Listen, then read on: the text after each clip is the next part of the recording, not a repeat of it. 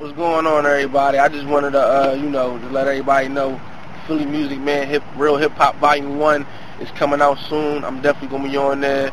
Also with artists like Hollow Man, Shelly Arno, Reign Man, Scorp Da Boy. Shout out to all the, shout out to everybody who's gonna be on the CD.